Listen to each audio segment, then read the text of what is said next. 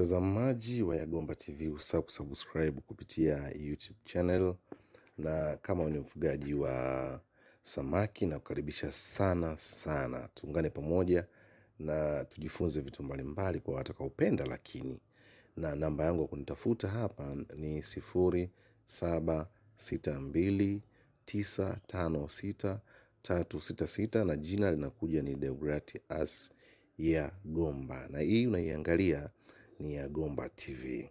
Kwa hiyo epukana na matapeli, hakikisha umetafuta katika namba hiyo, kwa sababu kuna baadhi ya watu wanachukua video zangu wanaweka kwenye akaunti zao. Kwa hiyo wanaweza kaka namba zao, mwisho wa siku ukajikuta unatapeliwa. Kwa hiyo hakikisha umenitafuta hapo, jina ni Deogratias Yagomba, na kwenye mwisho wa video nitaweka pia uh, namba zingine utaweza kuona.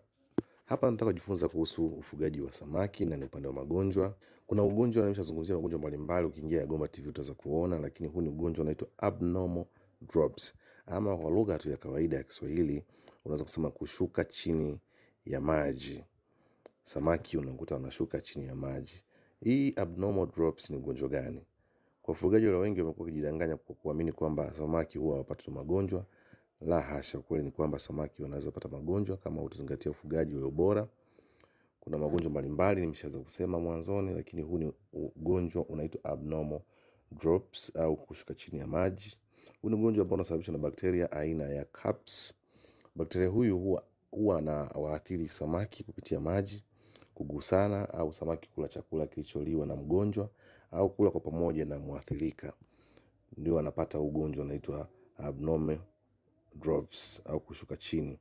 Kwa hiyo dalili zake za ugonjwa huwa ni zipi? Dalili za ugonjwa kwa samaki, dalili ya kwanza, macho kuzama ndani zaidi.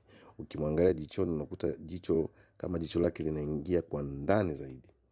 Kwa hiyo matokeo yake ni nini? Kuweza kuona kwa haraka au kwa umbali zaidi, inakuwa ni kuna shida pale ya kuona, ni moja kati ya madhara hapo.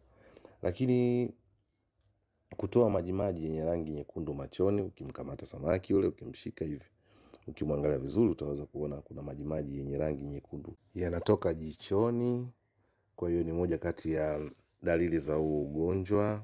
Kwa hiyo mtazamaji wa Yagomba, of course kuna magonjwa mengi ya kuweza kujifunza kuhusu ufugaji wa samaki. Ukipenda kujifunza na kukaribisha, namba ya simu ni sifuri saba sita mbili tisa tano sita tatu sita sita. Sasa je, tunatibuje ugonjwa?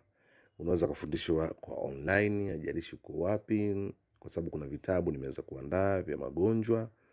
Ukifuata utaratibu tunafundishana bila shida aina yoyote. Endelea kuangalia Yagomba TV.